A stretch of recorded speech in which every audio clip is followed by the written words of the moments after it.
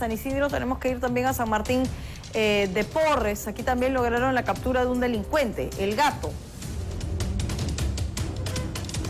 Así es, precisamente este sujeto, alias El Gato, eh, se llama Daniel Peche Cárdenas, compañera, y es que la Policía Nacional logró frustrar un robo en la avenida Tomás Valle, ya que este hombre, alias El Gato, había robado un vehículo de color rojo y había usado precisamente esta unidad, compañera, para darse a la fuga. Afortunadamente, reitero, la policía logró frustrar este robo, ya se ha comunicado también con la propietaria de este auto rojo y eh, sabemos que se permanece en la comisaría de San Martín de Porres tanto el vehículo como este sujeto que ya ha sido intervenido. Están precisamente las imágenes que ocurren horas de la noche cuando este hombre es enmarrocado luego de intentar darse a la fuga, compañera.